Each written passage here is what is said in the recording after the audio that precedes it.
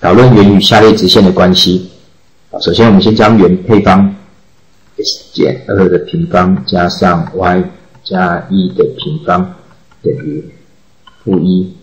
加四加一等于四，所以圆心的话是二负一，半径等于二。那第一小题的第一的话，圆心到 L1 的距离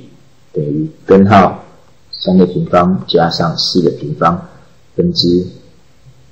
三乘二六四乘负一负四加三的绝对值。啊，这个算出来的话是五分之五等于一小于 r。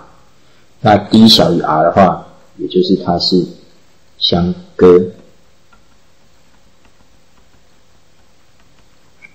第二小题，d 的话等于根号三的平方加四的平方分之二乘三六负一乘四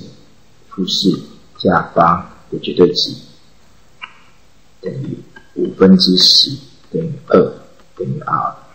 那 d 等于 r 的话，它们两个是相切，